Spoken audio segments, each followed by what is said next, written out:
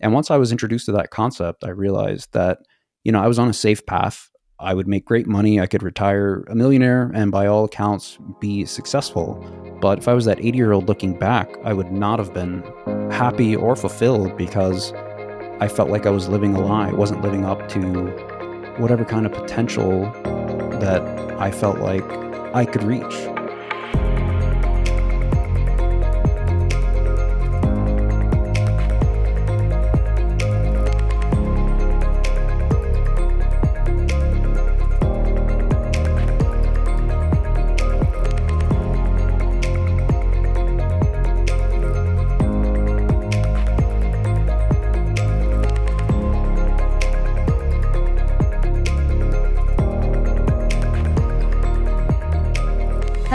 Everyone, and welcome to Opportunity Made. I am the host of the show, Catherine Lewis, and today I have an amazing guest, James Hudnall. Welcome to the show, James. Thank you, Catherine. I'm so excited to be here, usually on the other side of the mic, I guess. And so, yeah, super excited to uh, have this conversation with you. Yeah, I'm really excited to switch roles. It was so fun coming on your show, and now I'm excited to have you on mine. Um, we're just going to dive straight in because, James, you have such an interesting history. And while I could do an introduction, I would just love to hear it directly from you. So let's start out um, about the time you were in college or maybe pre college. And just to give everyone a little foreshadowing, um, you know, now James is in tech. He has an amazing podcast that we will dive into a little bit, but that's not where you started out. So let's back it up um, and talk about your pre college days.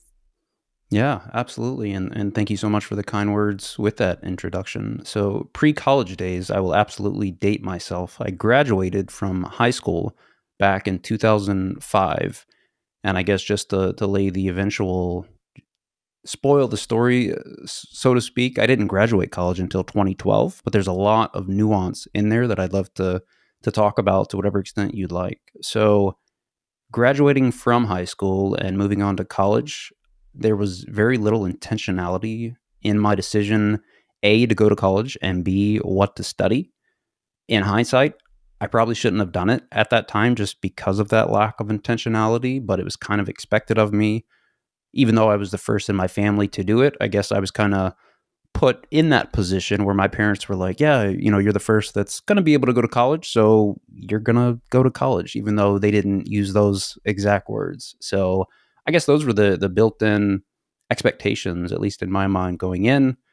Uh, I think at some point I flirted with the idea of becoming a, a astronaut or something like that. And I was like, oh, maybe I'll try to get into MIT. Maybe I'll try to get into all these hard schools just because it's hard. So probably not the the right classification or way to select your college and certainly not in hindsight looking back.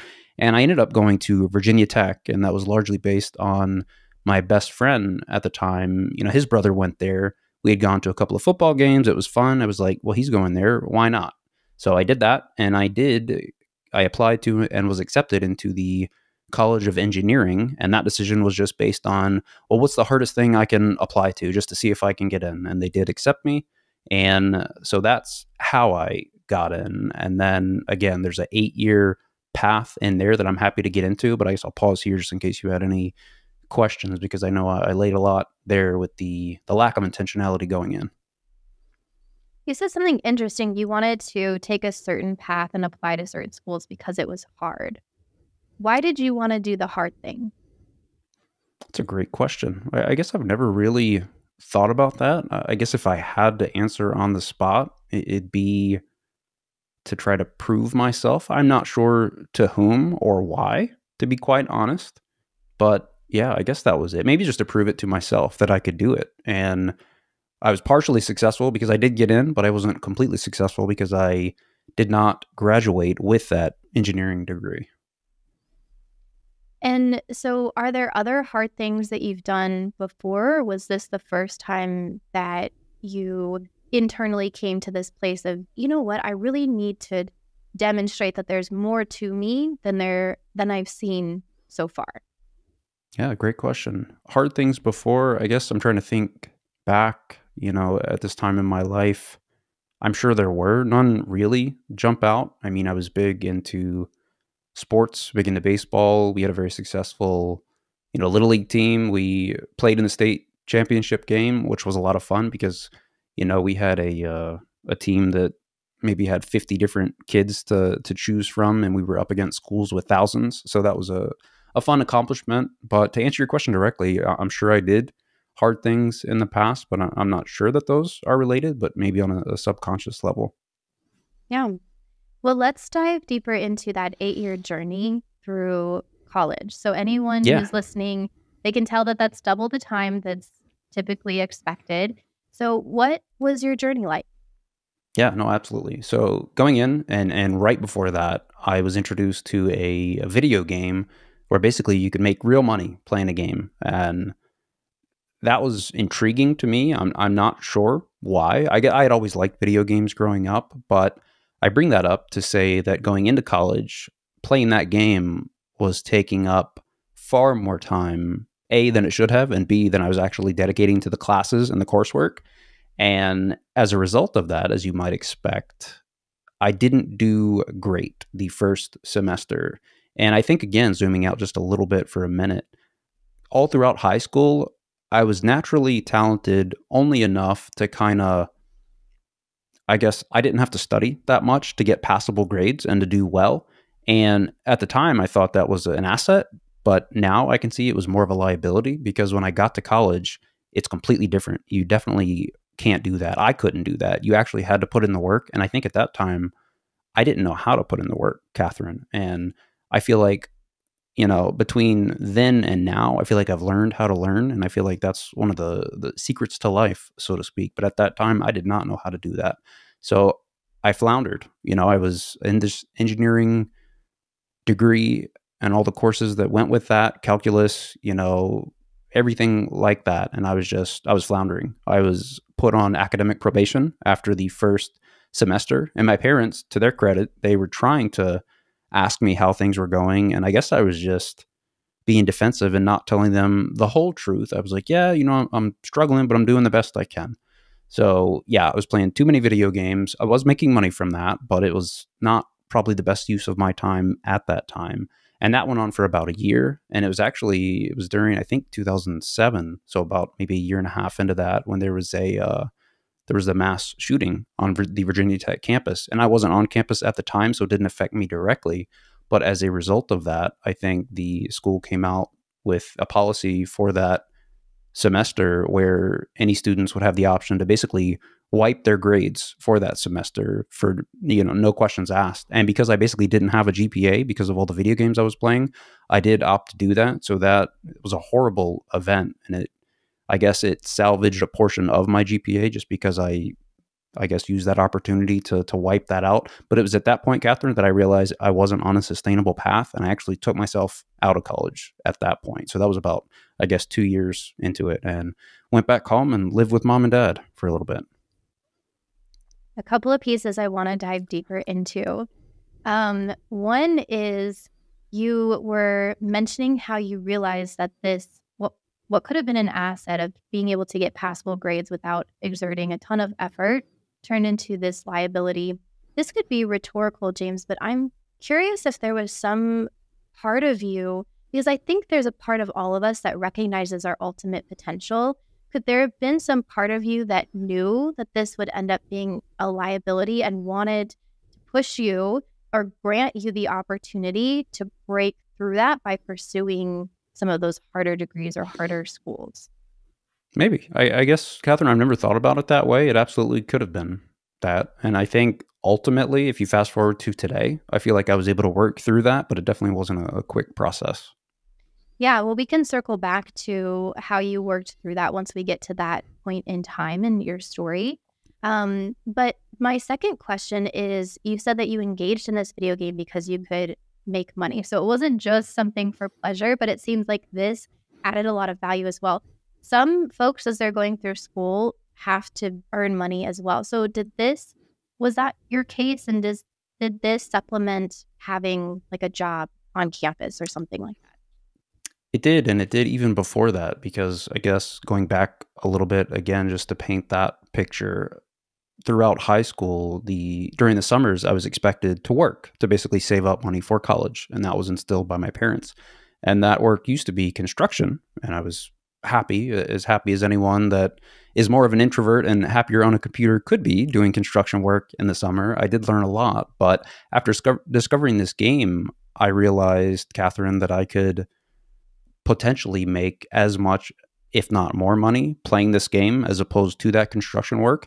And I was able to convince my parents of that to let me try that. So the I guess in that senior year, I was doing that during the summer and actually making money. So to answer your question directly, yes, it was a source of money. I did quite well in that, I guess, over the eight to 10 years in total that I played. I, I, was eventually able to put the down payment on the house that I live in now and have a nice, I guess, nest egg to help bootstrap life, quote unquote. So that was good. But if you, I guess, boil it down to the hourly wage for all the hours that I put in, it was, you know, more of a, a menial type job. I probably could have done a lot better, you know, working and saving at a, a standard job. So that's a very long mm-hmm. answer to your question. But yes, I was using it as, as a source of income. So you move back in with mom and dad, and what are they thinking? You know, to their credit, they, for better for worse, they were completely supportive. They were like, "You do what you need to do." I guess they didn't really have a, a base case either, because I was the first one to kind of go to college, even though I didn't probably do it the right way in their mind. So they were very supportive. They probably, in hindsight, didn't know the the questions to ask, or at least the questions that having been through what I went through, that I would probably ask my daughter and potentially future children at that time. But yeah, they were extremely supportive. And I guess if I continue the story there, I kind of, I guess I, I wouldn't call it floundering, but I kind of kept sleepwalking the next year and a half. I did enroll in some community college courses. That was more of like a, a mental justification of the time that I was spending at home. And again, there was no intentionality behind that there was no ultimate degree I was working towards. It was just an amalgam of different courses where I could mentally and I guess actually tell my parents, like, yeah, I'm taking courses at school while still spending most of my time on this game. And it was during that time, Catherine, where, you know, my health was absolutely in the toilet. I weighed 50 pounds more than I weigh today. In hindsight, it was probably the the low point of my life, certainly to date. And some point along that journey, I literally woke up one morning and had that proverbial look in the mirror and kind of realized what I had become, both physically, mentally, and emotionally. And I was just like, you have to make a change. You're, you're better than this. And I guess to my credit, from that day forward, I did a complete 180. You know, I stopped eating the junk food. I I didn't hang up the video game, but I guess I started to instill some guidelines around the time that I would play, and I would truly treat it as the source of income as opposed to also, you know, enjoying it and becoming totally immersed in that. I got a little bit more intentional with the courses that I was taking at the community college, and I also re enrolled in Virginia Tech once I realized that I was ready to do that. And I, I have strong opinions in both directions as to the how stuck I felt I was. But before I go there, I, I guess I'll turn it back to you because I know I, I talked a lot there. that is great. I'm curious, James, just thinking through your story, you said you had that moment where you looked in the mirror proverbially and was like, okay, wow, we got to achieve something here. Now, there's many, many times in life when we become stuck and we say something's got to change. And maybe it changes for a day, maybe a week, maybe a year, and then we revert back. Did you make that decision and because it was a must, it just changed and you never looked back? Or did you have this up and down journey? I think a little bit of both. I think that was definitely that point of delineation where, in my mind, everything had to change. And I kind of severed the ties with the, I guess, me before that time and me after that time. And in terms of like the fitness and nutrition, I made that, I guess, a core pillar of my life. And that wasn't, you know, going from zero to one and being perfectly intentional from that day forward. I eventually, and even to this day, I do abide by, you know, a pretty strict regimen in that. I didn't, that wasn't immediate. That wasn't overnight. I guess I had to discover with that. But in terms of the, the wallowing, and I guess up until that point, the lack of intentionality, I do feel like it was after that point, for whatever reason, that I haven't really thought about up until today. It was just a uh, a must, I guess, that you just you have to change things. Mm-hmm. Yeah, I've heard before that when it's positioned in our mind of oh, I really want to look good. I want to stop eating these things. I want to make more money, whatever it is. When it's a want versus a must, that the brain responds to it very differently. Like if you must lift the car off of the person, you will find superhuman strength to do so. But if you just need to or want to, the brain doesn't kick into gear. So I find it very interesting that this is congruent with your story of you had to, you must make a change. And it sounds like that's what happened. So tell me more. Yeah, no, absolutely. And so at that point, I re enrolled into Virginia Tech. And I'll just pause for a quick second there because at least at that time, that kind of spoke to my frustration with the public education system, just because I understand that because I did so poorly initially, I basically didn't have a GPA, and I didn't have a GPA weighted over the course of like a year and a half. And because of that, at least what I knew at the time and what I still know today, no other college was going to touch me. And I can't really blame them, I guess. But in that regard, I felt kind of stuck. And I think what I failed to mention before I had taken myself out of that college, Catherine, is that I changed my majors from engineering to English because I realized it was a lot easier to kind of, I guess, BS your way through college as an English major as opposed to an engineering major. So at that point, I knew that I didn't want to teach English, but at the same time, I didn't know how to finish that college degree in any other capacity than to go back to Virginia Tech to do the best that I could to get straight A's, which is what I ultimately did for the most part.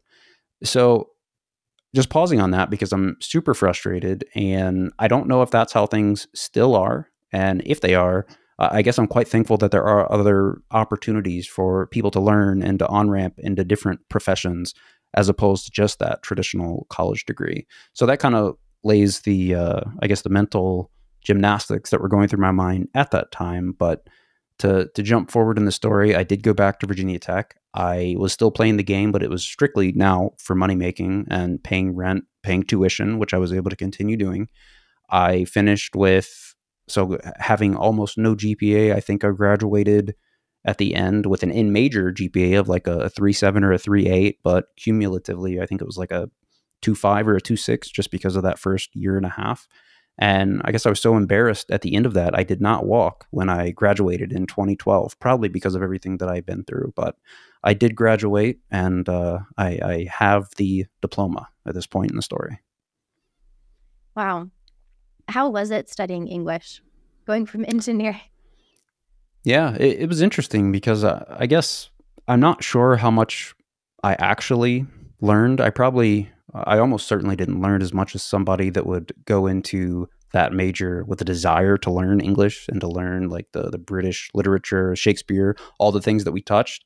I'm probably not as polished as I would have been if I had truly immersed myself in that, but it, it was fun and I definitely think it's useful. I feel like I write well and I feel like those years helped me establish that habit and I do see that as a strength in just about anything that we do now. You know, being able to tell your story, which is what I, I talk about all the time, and you know, being able to to put that into words, I feel like can really differentiate you from the pack. So I don't think I'm the best writer in the world, but I do think those years were useful, even if that's not what I would have chosen as my given major. Now you continued playing the game, so it was about what eight, ten years of playing, and. Yeah that's a long time to play a it game. Is. And while I know you moved to a place where it was providing income, and so it was almost like just doing a job, did you ever get bored with playing that game that long?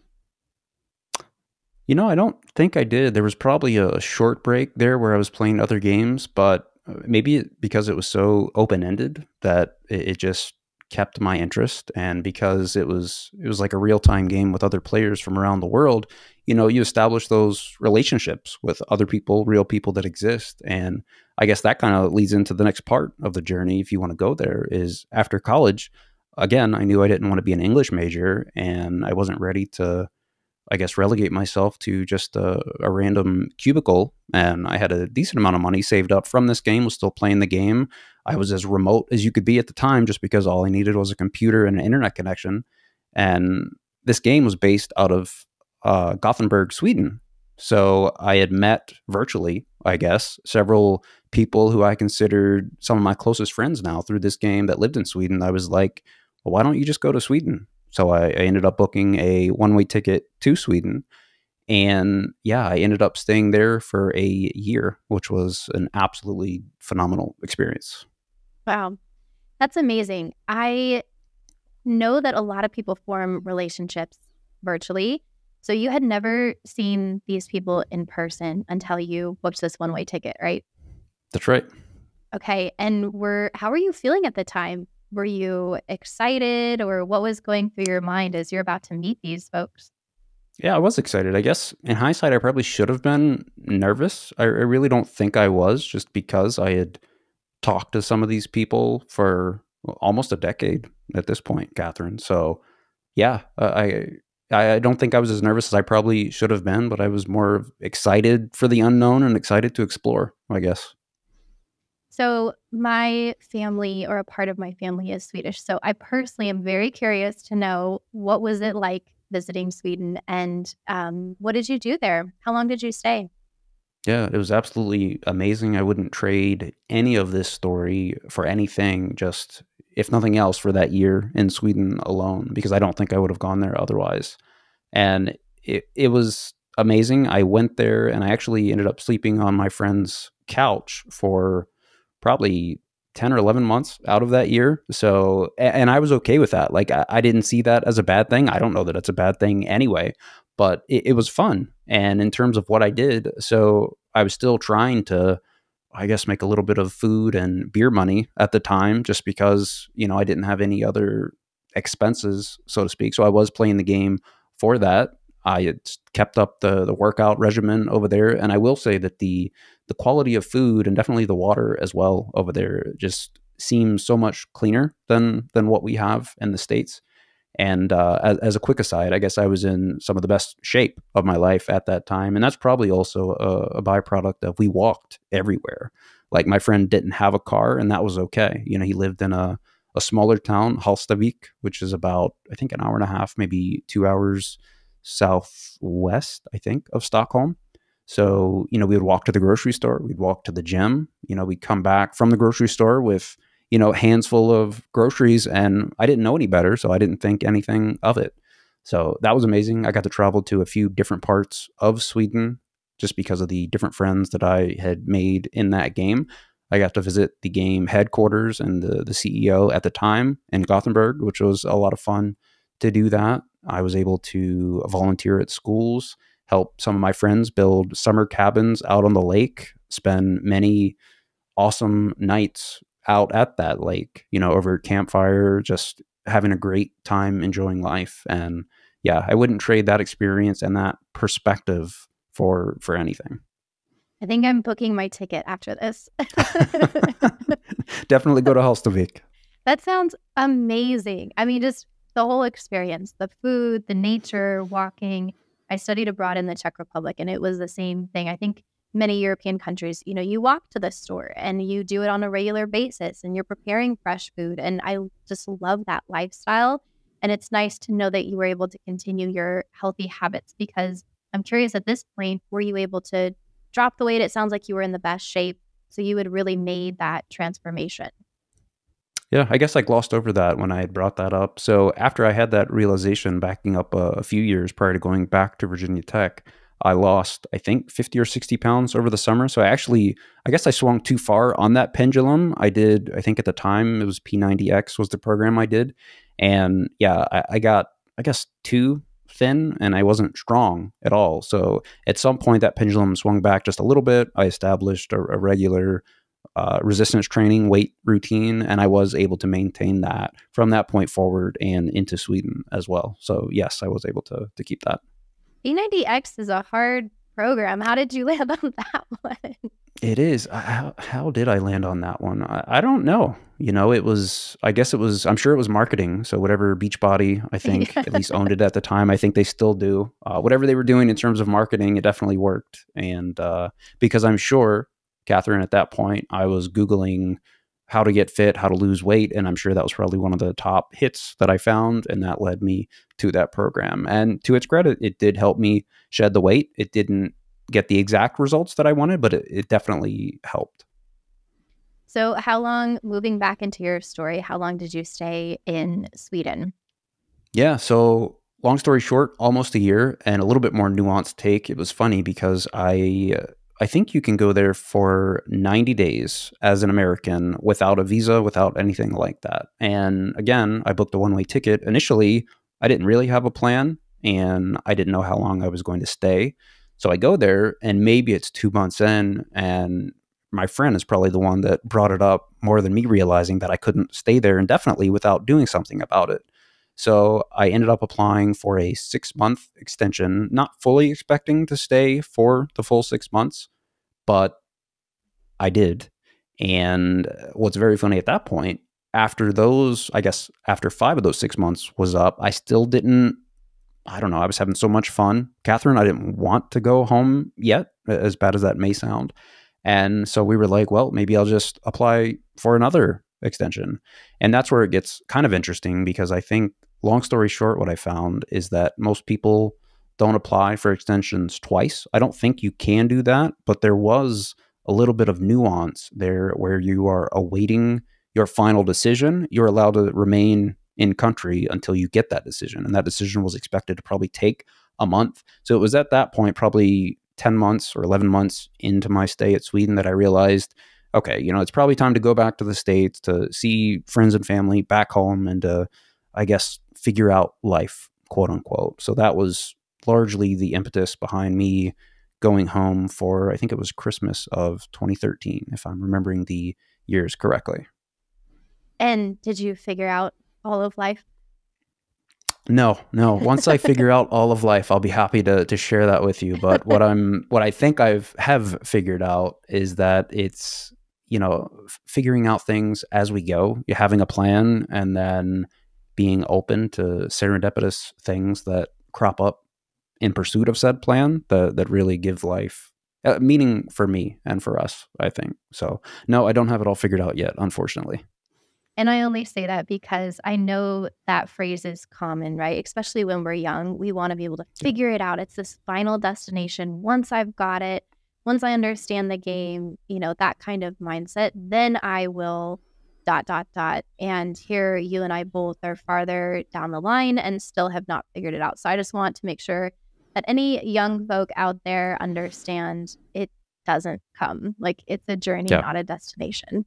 Yes, hundred percent. And I, you took the words right out of my mouth there. I, I did want to to jump in and say that because it was, you know, with just about anything in life, I think it, it is important to embrace that journey and not just the destination. Because, in hindsight, I think reaching any destination, I don't feel like it's it's as glorious as we think that it will be in pursuit of said destination. And I feel like if that's where we plan to derive all of our meaning, I, I feel like we're gonna be a bit empty when we reach that goal. So I'm so glad you brought that up. So, where do you find meaning? Yeah. So, I guess meaningful relationships now, you know, and that, I guess that started, you know, even in that virtual capacity in the game that I was playing. But now, you know, working at LinkedIn, even again in a remote capacity, which apparently is right up my lane, uh, you know the relationships that I've built with the people in my cohort, people like you that aren't in my cohort, but that I have been introduced to through the LinkedIn platform. So, yeah, I guess that would be my direct answer: is just the the relationships and the hopefully the the impact that you have on people. I love that relationships and impact. That speaks to me as well, just in terms of what adds sustenance to life.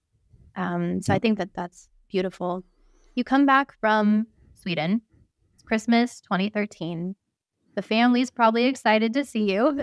and then I think what, they were. what happens after that? Yeah, so trying to think back what happened through that. I'm pretty sure at this point I still didn't know what I wanted to quote unquote do with the rest of my life. I was definitely mentally, I was in a good state. You know, I was in good shape. Uh, I felt like things were as good as they could be given the fact that I had no crystal clear direction, quote unquote. So I think, you know, it was shortly after that, actually, a few of my Swedish friends came over to the States and we went down to Florida because I hadn't taken enough leisure time of late. We went down there and I got to introduce them to America in the uh, in the Florida Keys, so that was fun for a couple of weeks. And I think at some point shortly thereafter, I thought that I might want to be an occupational therapist, and maybe that kind of lends itself to the I guess trying to help people physically.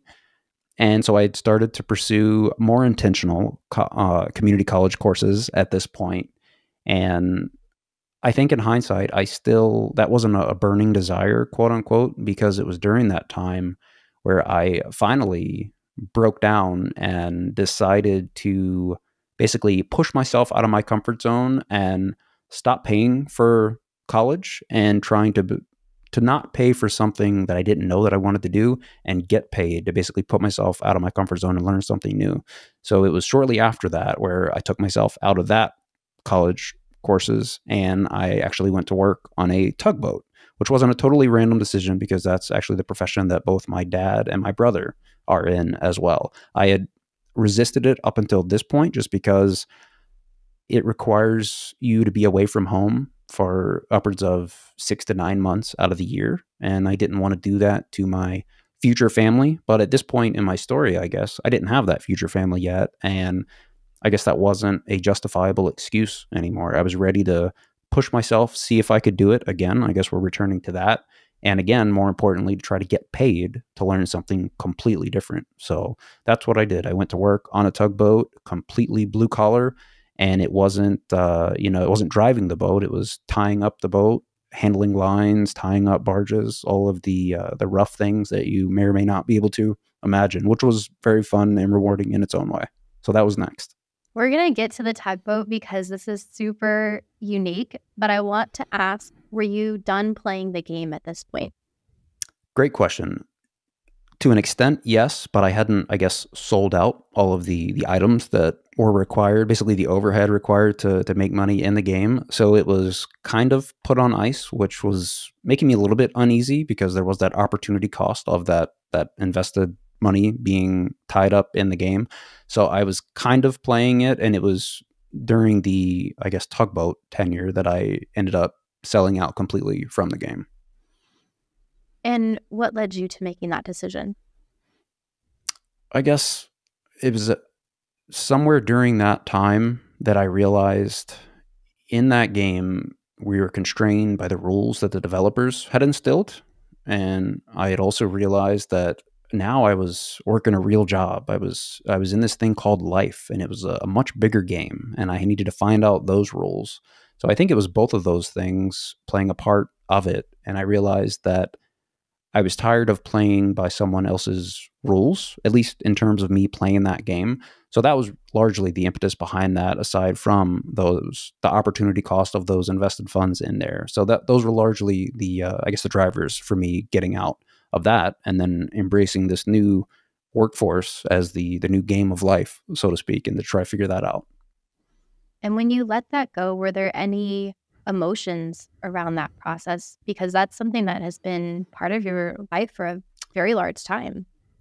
Yeah not as many as i guess you would think which i don't know if that speaks to to me in any capacity or not. I, have never talked to a, a psychologist about that but uh yeah no i mean i was there were definitely parts of me that didn't want to let it go, but not as much as you might think, given the the the tenure that I had spent in that game and in that that world, basically. So no, and maybe that was helped by the fact that most of the close friends that I had made through that game, I still had them on Facebook Messenger, so I was still able to to talk with them.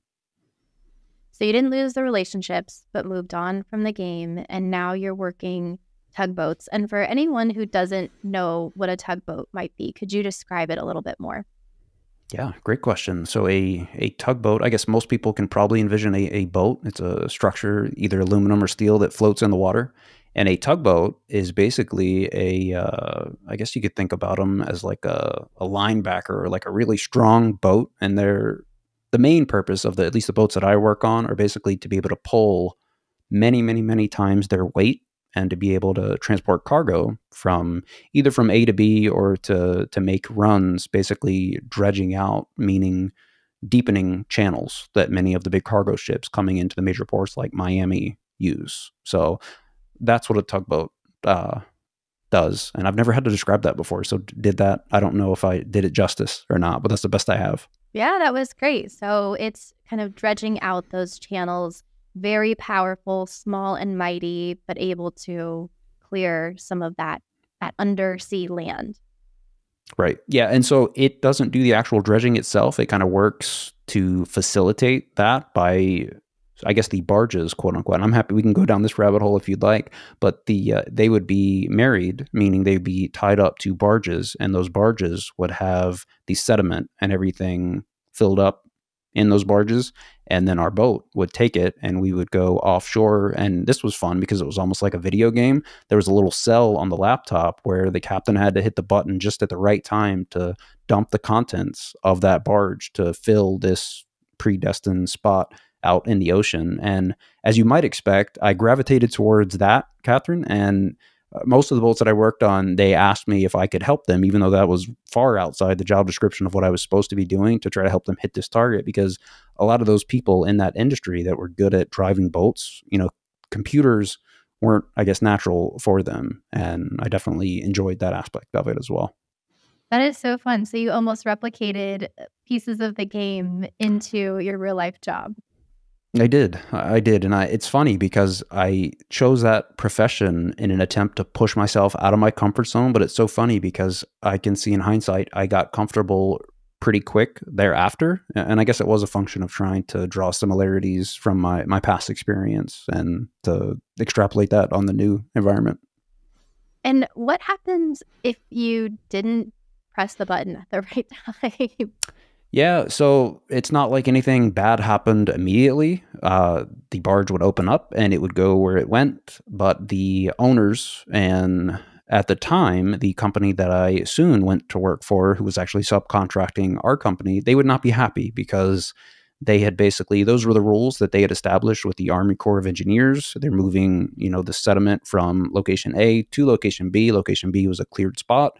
You're not supposed to drop it outside of that. So it did happen. It absolutely did happen. And yeah, those were the uh, the ramifications. It was more of a, I guess, if they did it too much, the the captains maybe let go. It was more of like a financial implication. Okay, that makes sense. Yeah. So, what were some of the lessons that you learned about yourself and life as you're now in this different position? You're out on the water. You're working the tugboat. Right, great question. Um, I think in hindsight, looking back, being exposed to uh, it had started in Sweden, but definitely also on the boats, being exposed to different cultures, different people from different backgrounds of life, and definitely treating everyone with respect. I feel like I've usually been pretty good with that. I'm kind of a, a people pleaser by default, but it's interesting because I see a lot of people that don't treat people well or they treat people poorly. And it's interesting too, because several of the people that I worked with on these boats had a reputation for not being fun to work with. And I found it quite fascinating because when I worked with those people, I didn't have that same, I guess, thought about working with them. And that's not to say that I was this great person that brought the best out of them, but I, I do feel like I was able to learn how to get along with just about anyone, which I feel like is an absolutely invaluable skill to learn in life. Now, you're saying you're learning this while you're on the boat, but I'm curious when you were playing the game and you're interacting with so many different personalities in this um, virtual ecosystem, did you actually start learning any of those skills there, or was this really fresh when you were on the tugboat? Great question. I probably did, probably in a little bit different of a way, just because uh, in that capacity, it was all virtual and all avatar to avatar, so to speak. But yeah, I think if I had to answer that, I, I would say that probably started there, and it definitely didn't hurt to have that experience when it came to both Sweden and working on the boats with the different people. So you're learning all of these different skills about um, interacting with people and understanding how do you show up in any situation with any dynamic and really make it work. So maybe some conflict resolution, maybe speaking to who the person really is. Did that help you with your job? Did it move you into more of a leadership position? What kind of outcome came from that? Yeah, I think both of those. So it definitely helped me with conflict resolution. A lot of the conflicts that probably would have arisen in normal situations didn't, just because I think I I learned, you know, people are interesting. Everyone has their own nuance, the things that they like to do, the things that they don't like to do. I know there was one particular gentleman who he was a little bit older. He was a little bit more heavyset, and the expectations for the deckhands, which I was and he was at the time, where you basically take turns going up on this barge to help land it and tie it up when we get there. And he came to me very early on the first shift that we worked together, and I forget how he did it, but he basically he kind of told me that he wasn't going to do it, but he didn't do it like that. He kind of asked if I could do it, I think. And I guess for a split second, from a, a terms of like like fairness and equity, my, my initial reaction was like, no, we each need to do it. But uh, I guess I also had the foresight to zoom out a little bit and to think, no, I, I, don't mind going up there. It's more exercise. That'll be fun. It's fun being up there, getting to to watch the sunrise, you know, and to to do that anyway. So I feel like that was just a small example of figuring out different people, what they liked, what they didn't like. And so it helped me there, but it also helped me because I noticed that he kind of picked up the slack in other areas where he maybe wouldn't have otherwise. So yeah, I, I, feel like that was an example of how that helped me. And I think I've rambled so much now that I forgot your original question that I come close to, to answering it. That was great. Thank you, James. It's interesting okay. how you were able to play to each other's strengths. So he identified an area where he was weak and then leveraged the conversation to ask you to step in. But then he didn't yes. back out. He wasn't being lazy. He picked up slack elsewhere. I think right. that dynamic is beautiful. Yeah, no, absolutely. And I think a lot of the people that had worked with him would have had that initial reaction to just say, no, you know, you need to go up there half the time. I go up there half the time.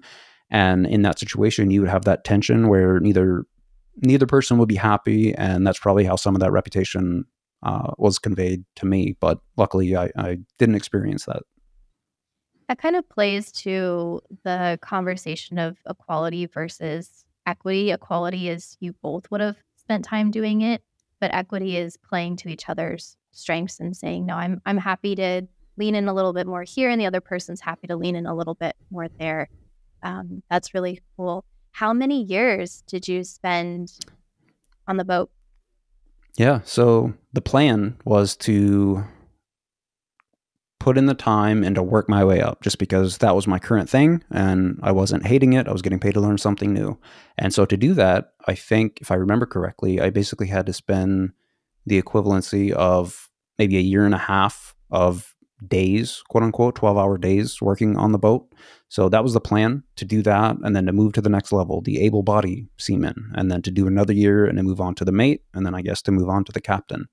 I ended up, I did the first year and a half and I became the able seaman. Maybe it was a year, maybe it wasn't a year and a half that I got that quote unquote promotion, and the the pay doubled. It still wasn't great, but it was something. And at this point, I guess I was fortunate enough, Catherine, to have saved up enough money through the game where I wasn't working for money. As silly as that seems, I was working more for the experience, even though it wasn't something that I was truly passionate about.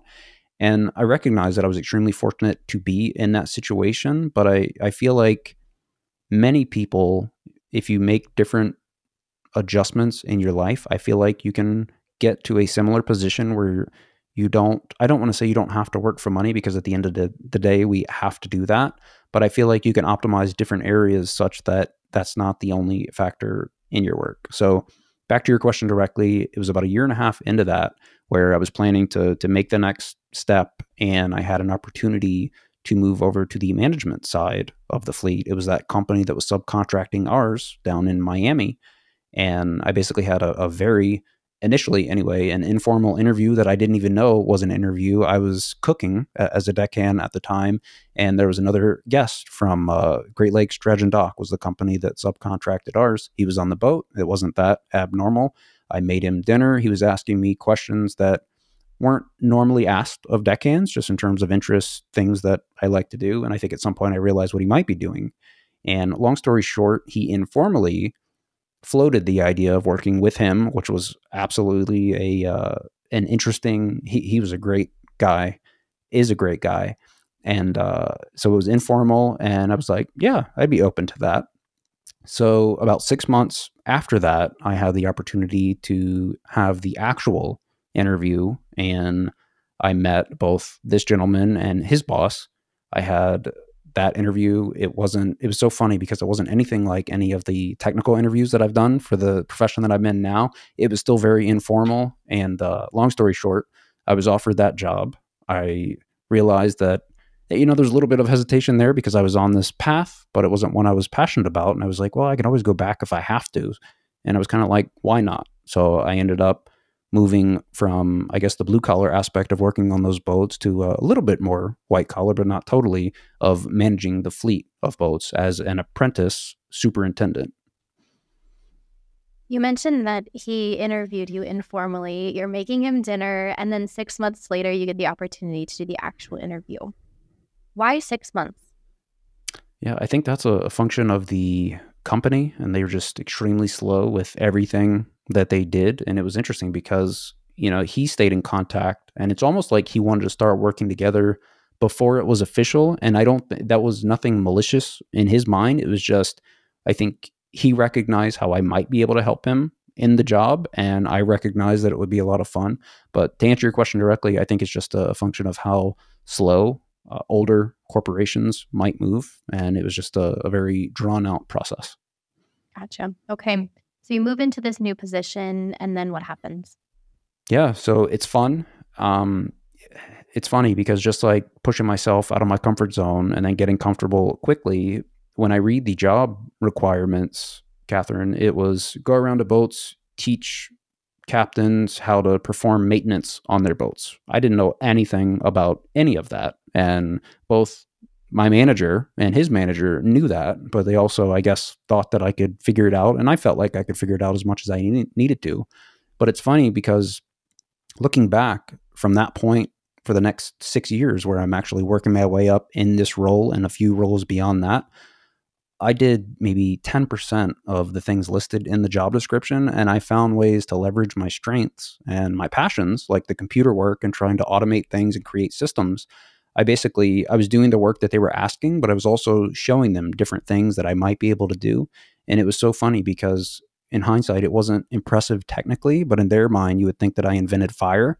And they really latched onto that. And I really latched onto that because I enjoyed doing those things. I remember showing my boss uh, Google Sheets. He used to send Excel sheets around to the different managers of the boats, and they would have to wait for someone to send something back to update one row etc. And to anyone listening, it, this is probably a no-brainer. Yeah, Google Sheets, many people can work on the same thing at once.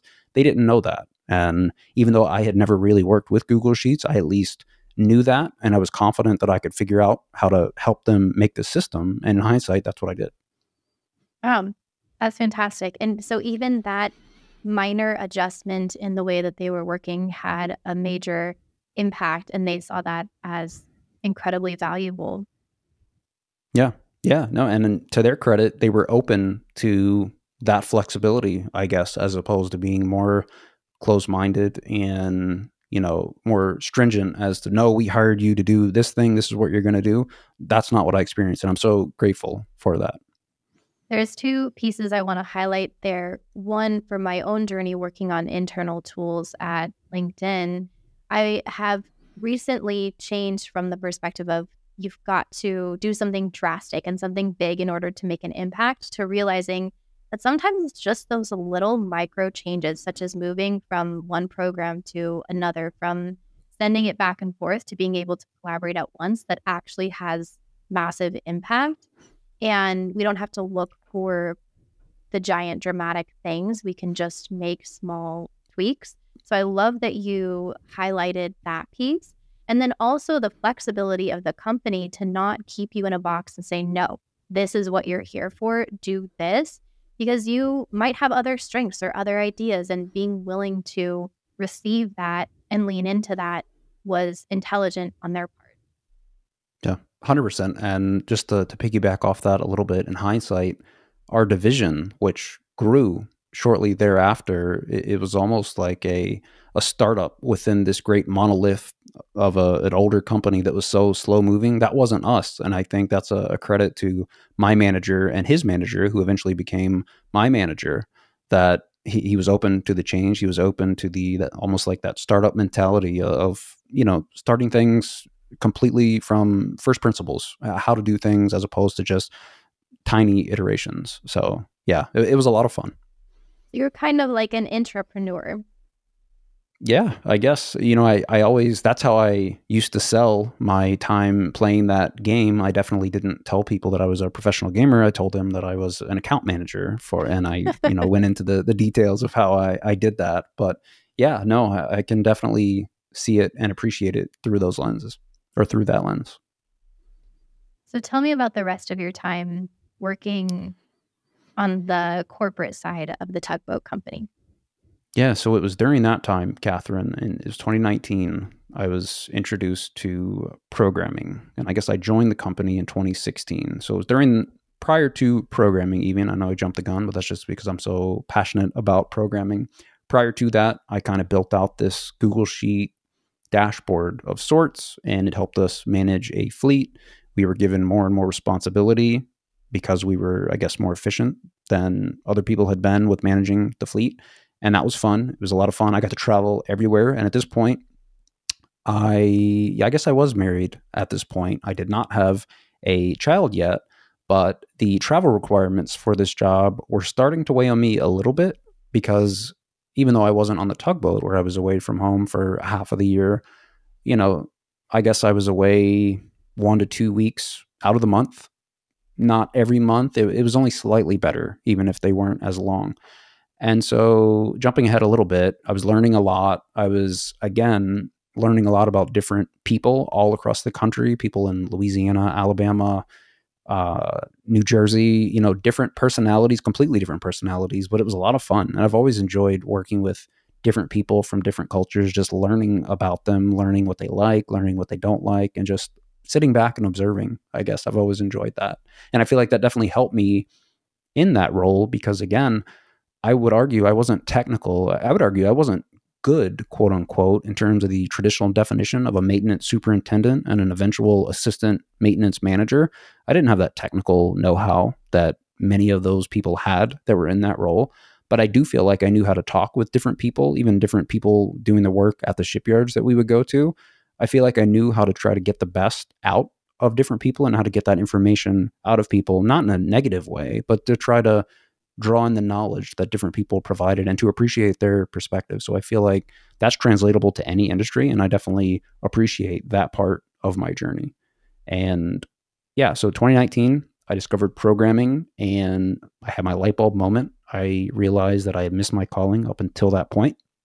And because I'm working in this startup like division, I was able to start integrating these things that I was learning and the the Google Sheet dashboard that I had built, it became even more efficient. We now I incorporated like a Python web scraper so we could see our fleet in real time, which was a lot of fun for me anyway.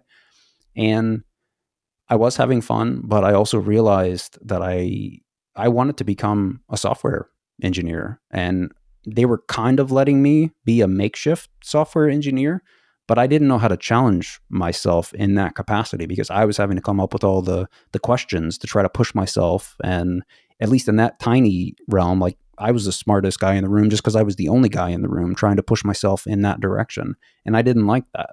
And shortly before that, the person that I was working with, the company kind of forced him to retire, which wasn't as bad as it sounds because he was I think mentally he was already checked out anyway, and he was ready to go. He had he had actually put in his uh, his resignation letter for a few months out, so it wasn't as fun, I guess, traveling without this guy, Bob Peterson, just in case he's ever out there listening. Those years were some of the best of my life just for the different trips that we made across the country. So things weren't the same. I wasn't able to be challenged in the direction that I wanted to become. And again, this travel became more and more stringent where I would have to travel more and more. And I don't think my wife wasn't pregnant at the time, but we were talking about soon starting to try to, to have a family. So I knew that something had to change. So I learned programming and I realized pretty soon that I wanted to make a, a pivot. But I think at this point in the journey, I was afraid to make that pivot. Wow. Well, shout out to Bob. I could see the way that your sure. face lit up as you were talking about him just to have a joyful travel companion. It is so interesting that you mentioned being the smartest guy in the room in terms of programming and having to challenge yourself in that way and then not liking it. Now, there's that common saying that you don't want to be the smartest person in the room, you want to be in a different room. And yet, at the same time, internally, we all try to be the smartest person in the room, the expert, intelligent, esteemed by our peers. It's a weird psychological dichotomy. So, how then did you move yourself into a different room? Yeah. So, I was taking these, I guess, an amalgam of different courses online without a lot of clear direction. In hindsight, I was still learning valuable things that still help me today. But I probably put up with that job for at least a year longer than I should have. And it just got to the point where I wasn't, I guess, willing to to to be away from home and to travel like that and to do that because I realized that I was living a lie and I was tired of living a lie and I was hesitant to make the change because you know I was making good money. I was supported. I love the manager that I worked with. If everybody in the company was like him, I would probably still be there today for better or for worse. I wouldn't change anything about how my story has played out. But not everybody in the company was him. His manager was uh, much more of like a boots on the ground kind of a guy, where if you weren't traveling at 5 a.m. Monday morning, and you, you, better not be coming home Friday until it's like 10 p.m. or something like that, like all week on the road kind of a deal. And that's more of like the the work hard versus the work smart mentality. And it was just antiquated thinking in my mind. So long story short, there I got tired of that, and I was kind of looking into boot camps, which I had heard about before. I was a little bit apprehensive because you know I, I had heard bad stories, which I guess are easy to hear on the internet. And I didn't know how to make that selection, but I, I ended up, I thought I was going to potentially go with Hack Reactor, which perhaps some of the listeners may have heard of, perhaps not, but they're a more well known boot camp. And I actually did their pre course before I had made the decision to leave. And I was planning to do that, Catherine, but I had applied to their scholarship and in hindsight, I put together what I thought was this great how to carve a pumpkin because we had to teach how to do something. And so it did teach me video editing skills, which I appreciated. And I thought I put together a great presentation, jumping to the punchline. I didn't get the scholarship. And even though I could have at the time, I did not want to pony up 25 grand to spend the next three months for 10 hours a day in my office coding when there might be another path. So I found Springboard, which was a different option, and Colt Steele was the instructor, and his course on Udemy was the very first Python course that I was ever introduced to. I love his teaching style, so I knew he was the one. And it was around that time that I found Springboard that I had my, I guess, snapping moment with my former job. And I, it was probably a Monday morning after our regular Monday morning meeting where my manager called me and I could tell that something was up because I could hear it in his voice where he basically asked me if I was willing to go to, I think it was Alabama that week, even though we had talked about I was going to work from home. And long story short, that had come from above him. And even though I love the people over in Alabama, I, I was tired of, you know, plans changing and having to be away from home. So there was a long pause on my end. And I think at that point, I told him, yeah, I'll do that. And then he asked me what was wrong. And for whatever reason, I finally had that courage to be honest with him, let him know where I was at, let him know that my intentions were, you know, a month from now to basically, I guess I said it better than this, but sever ties and to embrace this career transition. And to his credit, I got a, a lot of support from him. He told me almost immediately he knew that I was upset. He knew that I'd been unhappy for a while and he fully supported that. So it was at that point that I I guess I made that decision. I did go to Alabama that week, and that was probably the the best travel week of my life, just because I had this relief now that I I had this plan. It was a conscious decision into a, a field and direction that I wanted to go, and I had finally mustered the courage to to burn the proverbial ships and, and to pursue that. So that was the point, and that was, I guess, October November of 2021 that that happened, and that boot camp started January 1st the following year. You mentioned that you had been there for a year too long. How did you come to that conclusion? Because I know that there are a lot of people out there who are in jobs and they have probably been there, quote unquote, too long, whether they have just are no longer contributing like impacts or they're not passionate, they don't have the energy, whatever their personal reason may be. There are people who are trying to make that decision for themselves right now of is it time to move on? And often when we have change, we feel fear. And that fear we sometimes use as an indicator of no, stay where you are because the next thing could be scary. But really, sometimes what we register as fear is actually excitement.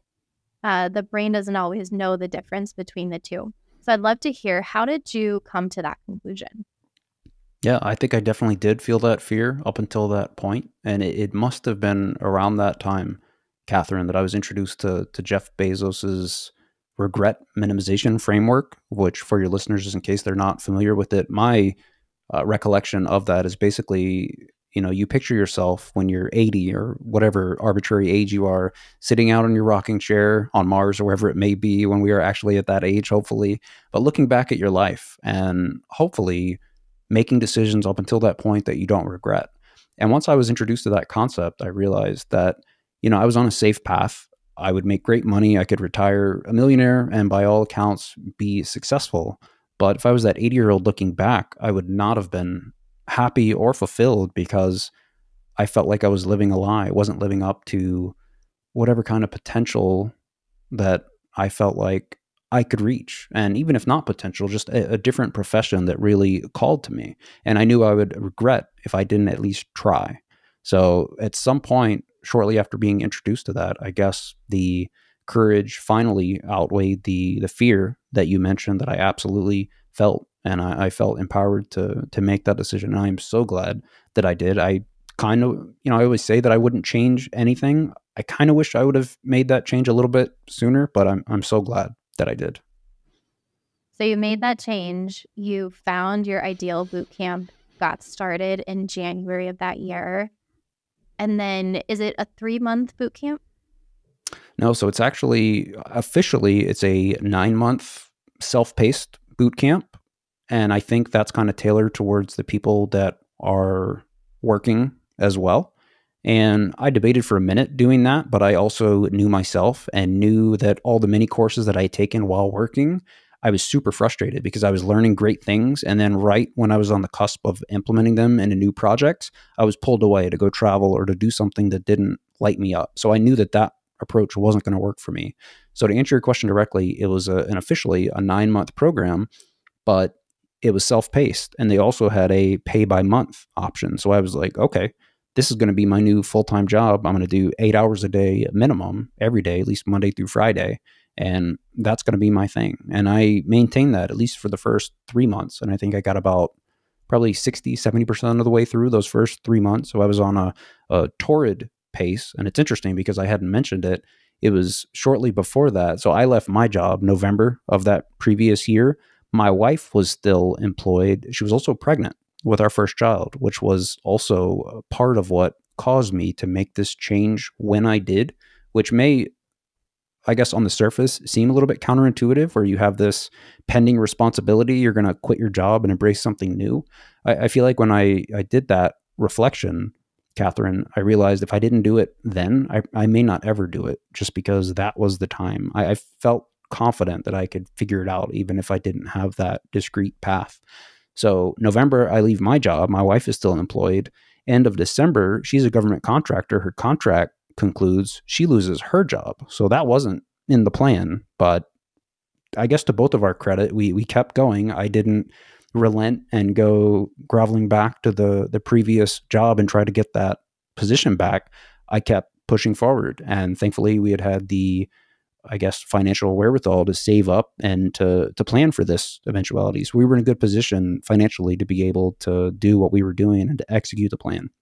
So first three months, about 60, 70% of the way through, she's pregnant with our first child.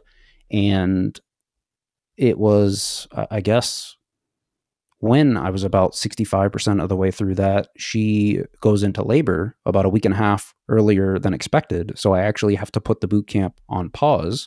And I understand I'm jumping around a little bit. At this point in the boot camp, I'd applied to both LinkedIn, which, spoiler, some may know how that works out and also another company. So and i hadn't heard back from either. I put the boot camp on pause to try to be present for my wife and for our new daughter who was born.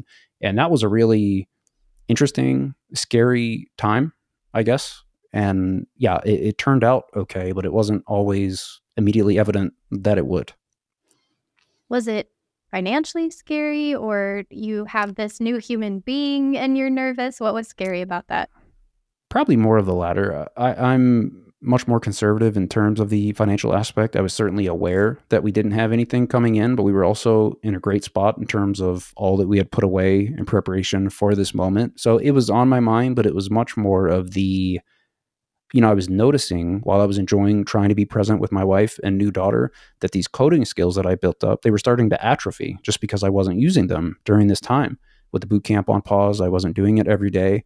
And you know, the thought crossed my mind where, you know, if this LinkedIn interview or the other interview doesn't work out, I'm confident I can ramp back up, but it's going to be a lot harder. It'd be nice if one of these two really works out. I hear back from the first one and they ended up not going with me. And that's interesting too, because it was during that interview process that I let them know basically my entire situation, even though I don't think you're obligated to do that. I let them know that my wife was pregnant and that we were going to most likely that company offered paternity leave, which was great.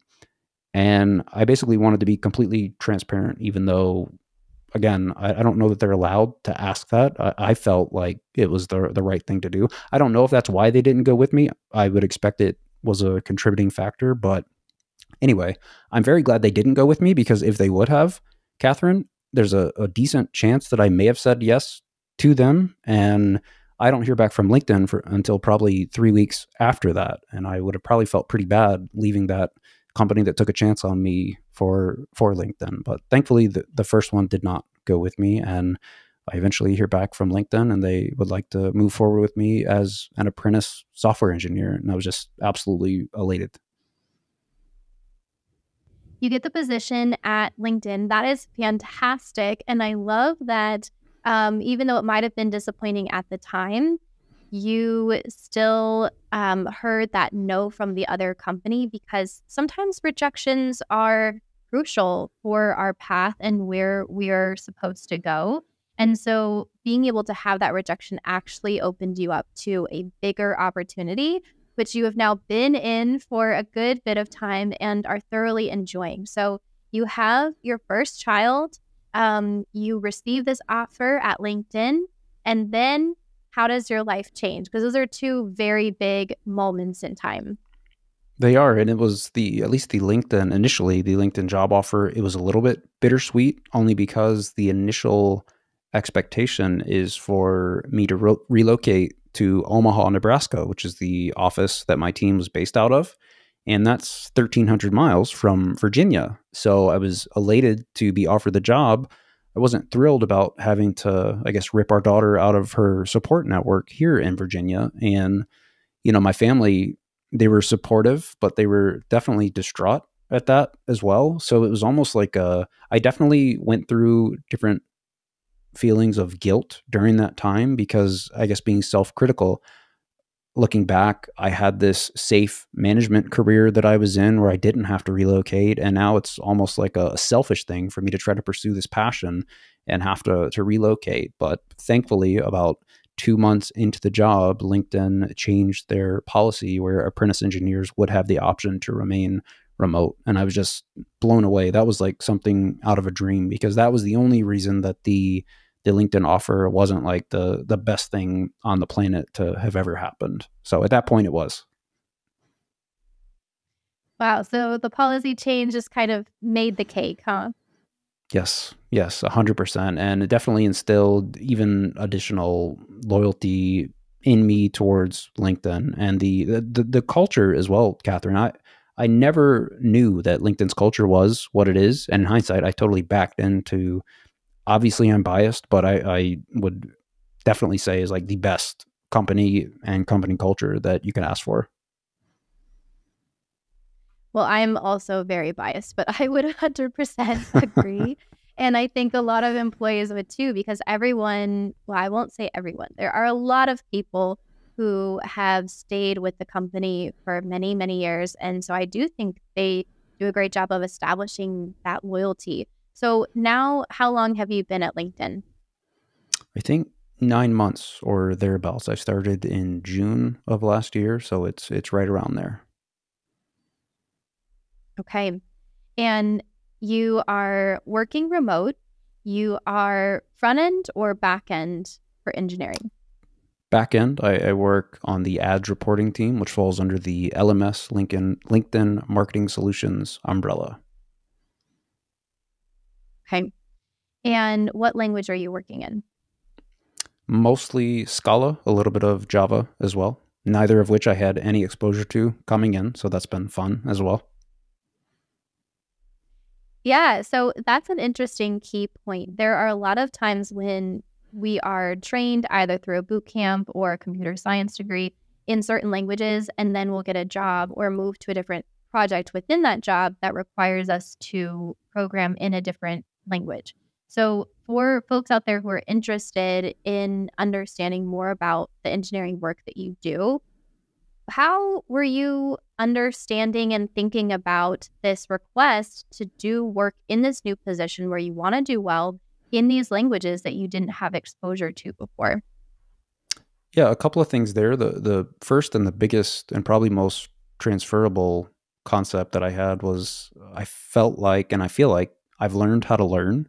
And that doesn't mean that I'm the best at that, but I at least have the confidence that I know what questions to ask either Google Chat GPT or, or pick your platform, how to navigate through and to learn what I need to learn in whatever I'm being asked to do. So I feel like that's critical. And then as a an aside, being the apprentice that I am, a LinkedIn Reach apprentice, we have 20% of our time is able to be dedicated specifically to learning. So that was, I guess, an additional buffer in my mind where one day out of the week, I'm allowed to earmark specifically for learning. So even if I have to, to dive in and, you know, only dedicate that to learning Java or Scala, which I have some weeks, I knew that I had that as well in my back pocket. Yeah, I really appreciate that 20% time, especially coming in as an apprentice.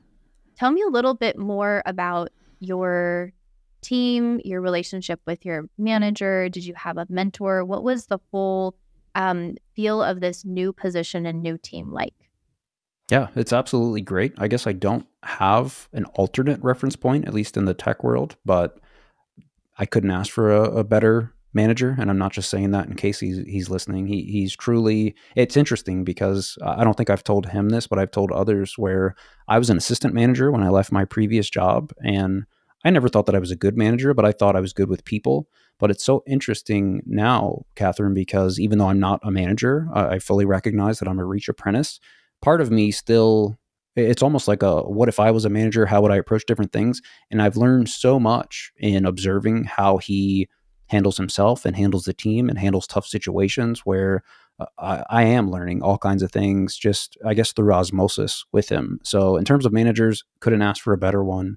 I was paired with a mentor same thing there couldn't ask for a better one. I feel completely supported in that capacity. And even though i'm fully remote with the team i feel like and this is probably aided by the fact that I was able to go over and meet most of the team in California at the end of August, I think it was. We had our last team outing before the uh, macroeconomic headwinds kind of put a damper on future travel plans, but I was able to meet them, and that definitely helped, you know, facilitate the remote interactions on Slack and Teams that we have now. But I definitely feel like I can reach out to any of them at any given time and get the support that I need. What's one thing that your manager has done well or that you respect? Yeah, uh, I have a quick answer just because I've had to answer this before. He's very good at time boxing, which that's one thing in the past that even though I feel like I've been blessed with good managers in the past, they had the tendency to just kind of let anything happen during meetings. But my current manager is very good at time boxing and setting aside dedicated time to try to get through different topics. And even if they aren't concluded, there's usually a plan to, you know, to continue that conversation offline or in a different capacity. So that was definitely one of the the big things that I learned. I want to branch out of that because you are new-ish. You're within the first year at the company. You are new to these different languages, um, and you have also started your own podcast. How do you manage your time? Yeah, great question. I do the best. I guess let me start by maybe explaining the why behind it and then jump into the time management if you'll entertain that. So yeah. the the why behind that, Catherine, is again, I, I don't know if it was guilt or what it was, but I was I was reflecting after working at LinkedIn for not that long and realized how fortunate I was to have made the transition that I did. And I was trying to think of why it took me so long to to find my passion and to actually move into what I wanted to do. And my answer to that was there was no blueprint for me to follow. I didn't know anybody that was a software engineer. I didn't have an example that I could pattern match. And I was trying to figure out how I might help facilitate that for others that may be like me in the journey before. And I guess what the format I landed on was a crowdsourced version of successful career transitions, which is what the the podcast has kind of turned into. So that's the why behind it. And then in terms of time management, I guess this goes back to trying to learn how to learn new things. I landed on the podcast format, and so I was like, okay, what's the, like the minimum viable product? What do I need to produce a podcast that I'm confident and proud of, I guess. And I was able to figure out the the tools that I needed, and to to top it off, everything seemed to be free, which was absolutely amazing. So I figured out the framework through which I might be able to provide it. And in terms of the time obligation, I landed on it was a little bit arbitrary, but I knew I wanted to be consistent. So I was going to come out with an episode a week. And somehow I landed on Tuesdays. Don't ask me why. That's just what I landed on. And so I was like, okay, so at a minimum, we'll target an hour. If it goes over or under, that's okay. The target is an hour. So it's probably going to take an hour to have the conversation. We'll say another hour, maybe two at the most, to have it edited, to do all the graphics, everything that goes with it, to upload it and whatnot. And for the most part, that's pretty much held true. Uh, I also post uh, pretty regularly on LinkedIn, so that takes a little bit more time. But I guess to answer your question directly in terms of time management, you know, we all have 24 hours in a day. We're supposed to sleep eight hours of those. And I do the best that I can to abide by that. You know, most of us are working for the other eight, which leaves eight more to do other things. And I think you don't have to be robotic about it, but if you're cognizant of that limitation on your time, I feel like it's easier to be intentional with the decisions that you make during that time because it's so easy with so many choices that we have to to watch Netflix and to do various other things. There's always things that want to occupy our time and if you're enjoying your life and everything's working for you, that's totally fine. There's nothing wrong with that. But for me, I wanted to figure out how to start producing content instead of just consuming it. So I guess recognizing the available time, I was able to carve out a slice of that and to try to dedicate that towards the podcast and also towards producing content on LinkedIn, which so far has been fairly successful, at least in terms of the cadence at which I was able to, to put things out. The podcast is called Exponential Growth How to Break into Tech, and I believe it's available on most platforms. James, it's been super successful, and you have been pumping out episodes that have helped hundreds, if not thousands, of people. You have thousands of followers on LinkedIn. I see that you post almost on a daily basis. How do you do it? Yeah, no, I appreciate the uh, the kind words. And in terms of the how, you know, I guess speaking more to the the LinkedIn posting, I uh, I definitely now leverage the scheduled posts, which, if anyone's unfamiliar with that, LinkedIn gives you the option to basically plan out your next, uh, I guess, entire year if you wanted worth of posts. And I definitely do that. And in terms of the the how, sometimes it's six in the morning when I'm on the couch and feel inspired to write. I, I try to jot down bullet point notes in Notion. That's my, I guess, editor of choice. And I guess whenever I'm feeling creative, Catherine, I'll just return to that and I'll try to, again, I guess going back to my manager's idea of time boxing, try to just iterate off of those bullet points that I've made and try to create posts. And once they're in a, a form that I'm happy enough to release, I'll go ahead and schedule those on LinkedIn. And it, that sounds like a great process and it is. And if I told you that I'd perfectly followed that ever since I started posting, it would be a lie. It's not always that robotic. I definitely have mornings where I have no idea what to post and I just throw something up and yeah, so uh, I that's a, a long answer to your question, but trying to have a system and being okay when things don't go according to plan, I think are important for kind of setting realistic expectations with that. I find that when I'm working with different friends or colleagues or people who are coming to me for advice around social media and posting, there's a lot of thought that everything needs to be new and exciting and fresh. And yet, what I've found and what I've seen in your content is that it's repackaging a lot of the same things. That doesn't mean it doesn't have impact or value, it absolutely does. But you continue to talk about the same kind of topics because it's on brand. How do you either not feel redundant with the content you're posting, or how do you generate something that's just slightly off something else you did so it feels new enough, but you're not having to reinvent the wheel? Yeah, I guess I definitely have core topics. Like I have a, a Google sheet of topics like imposter syndrome, traditional education, boot camps, eh, you know, different things that people in my situation and people that I'm trying to speak to would probably go through. And to answer your question directly, I guess if I ever get to the point where I feel like I'm just rehashing something I've done before, uh, I usually scrap that. Not always. Sometimes things that really resonate. And let's say that I posted it four or five months ago, and if the follower base is 10x what it was five months ago, you know, other people probably need to hear that. So I guess I've I usually, by default, I don't feel like I'm repeating myself, even though to your point, I'm, I'm very much, if you want to call it, on brand, talking about similar things. I, I guess I feel like I'm approaching them from a different enough lens where it doesn't feel that way to me. And you have had your following grow by a huge amount. And the topic you're talking about is so relevant, not only to the platform you're posting on, LinkedIn, which is all about careers and often about tech.